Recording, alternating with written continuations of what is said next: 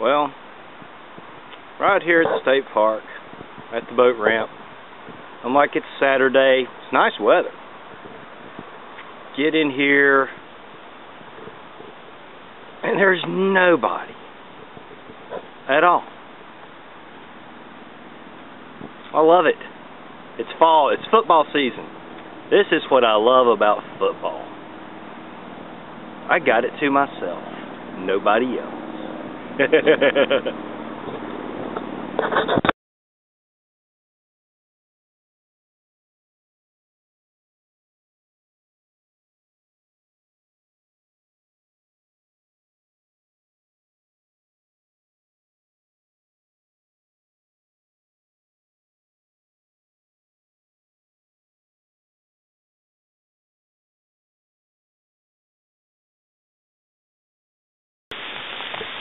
Yep, this is Boy Scout. Man, it was pretty when I got here.